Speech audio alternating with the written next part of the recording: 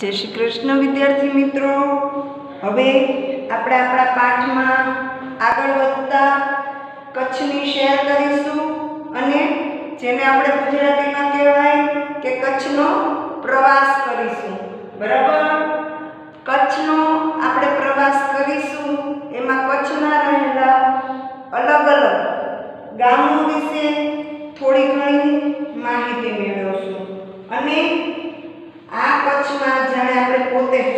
રહ્યા છીએ એવી અનુભૂતિ કરીશું. તો ચાલો સૌ સાથે મળી અને કચ્છ ફરવા ચાલીએ. હું તો ચાલી રહી છું. તમે પણ મારી સાથે આવશો. બરાબર છે? ચાલો, આપણે કચ્છમાં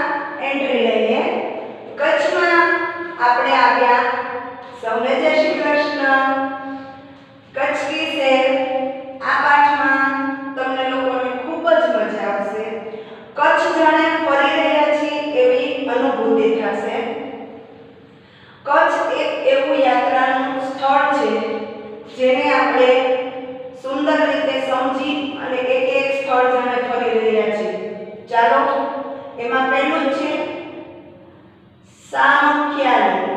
सामख्याली, पहले तो मैं आपको कच्छ के बारे में बता दू कि कच्छ हमारे गुजरात का ही एक जिला है, जो बहुत ही छोटा है।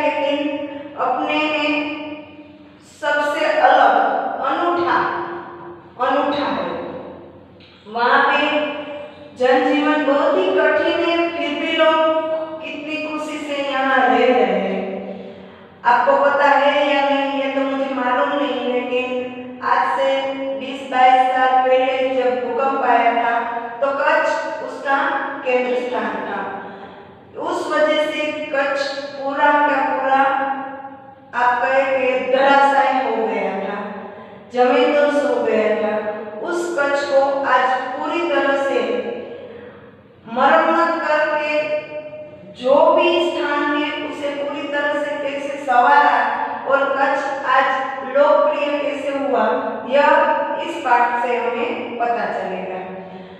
कच्छ के जैसे रमणीय स्थल है, उसके बारे में हम पढ़ाई करेंगे। पहला ये रात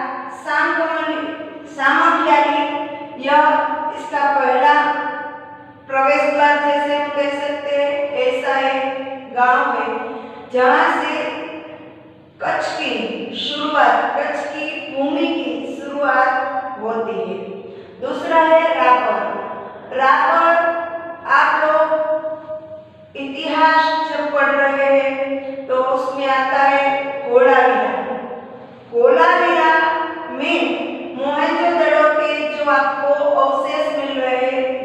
नहीं और आपको रापर के बारे में एक बात बता दो कि रापर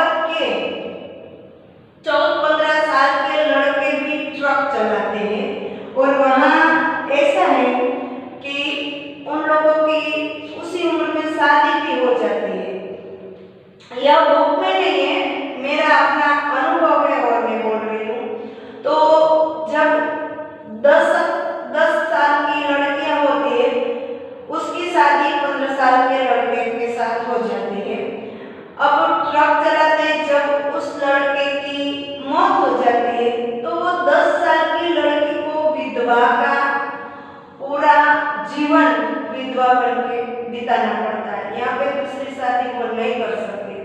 ऐसा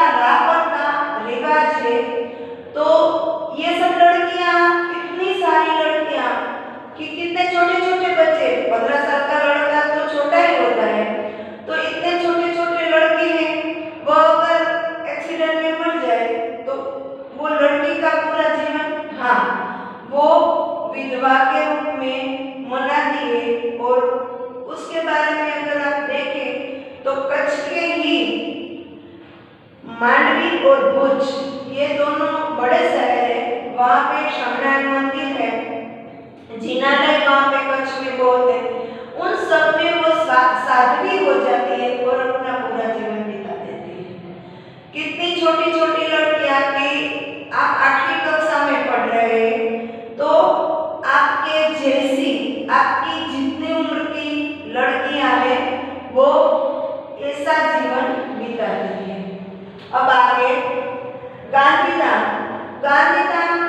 कच्छ का बहुत ही बड़ा शहर माना जाता है।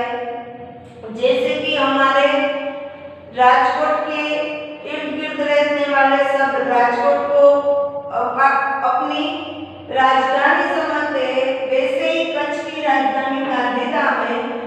वहाँ पे लोग, आसपास के लोग सब अपनी अपनी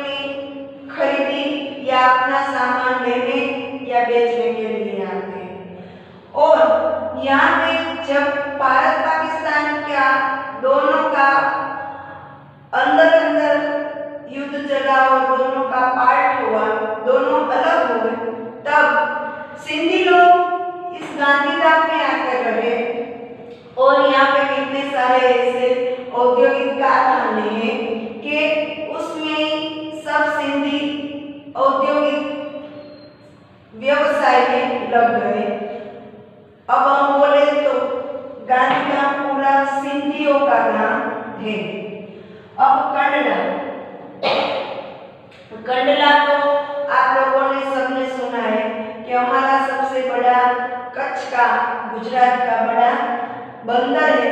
बंदर में वो पहले था आज उस बंदरगाह को पूरी तरह से इतना सवारा है कि कच्छ में कंडला एक देखने लायक स्थल बन गया है इसके आगे आए तो भद्रेश्वर भद्रेश्वर कच्छ में ज़्यादातर स्वामीनारायण और जैन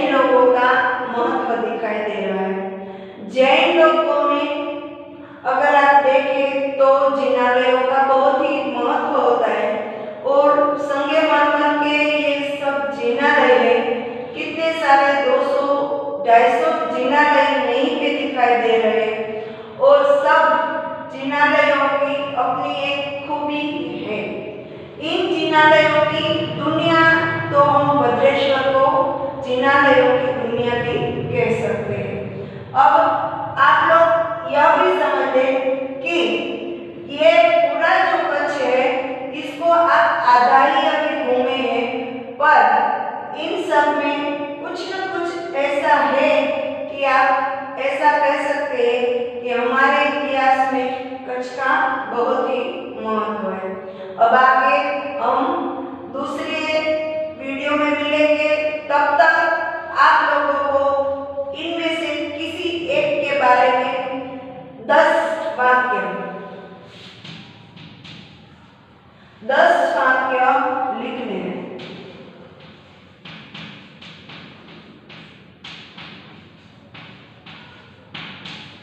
किसी एक के बारे में दस वाक्य आप अपनी तरफ़ से ढूंढ के लिख सकते हैं।